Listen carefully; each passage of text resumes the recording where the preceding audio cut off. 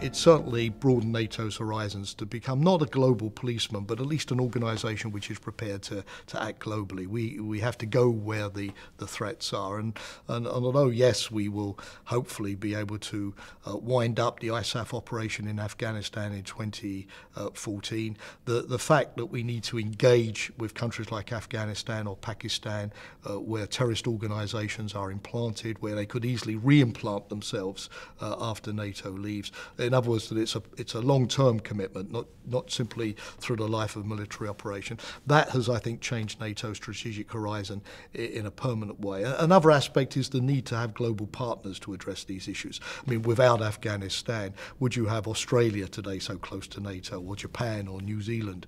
Would we have established relations with Tonga, or with Mongolia, or with Malaysia?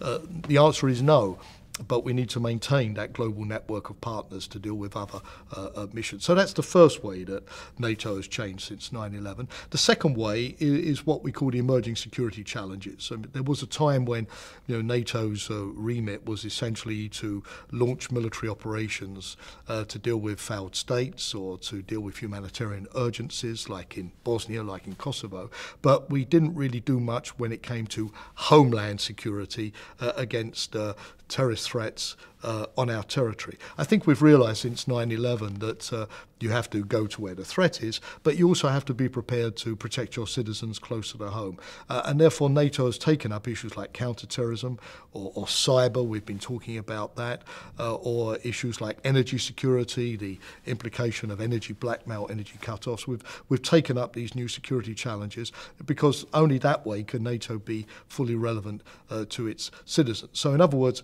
we've stepped up our ability to engage abroad, but at the same time also our ability to engage at, at, at home. So 9-11 has made NATO realise that we can't be uh, an organisation that deals just with one type of contingency, a failing state. We have to be able to handle a much broader range of security uh, challenges, but we can't do it by ourselves.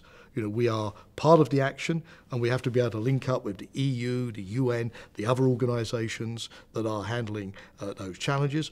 And at the same time, outside uh, the NATO territory. We can't do it alone, so we need to be able to work with uh, partners. So 9/11 has also sort of you know changed NATO, but it's integrated NATO much more closely into the international community. Before 9/11, we were much more of a kind of stand-alone, stand apart uh, a world into ourselves type of organisation. Since 9-11, I would in fact argue we've been less of an organisation and more of a network. You know, we've been much more plugged in uh, to working with, with others. Uh, you know, what, the best things we do today are the things that we do with others, not by ourselves.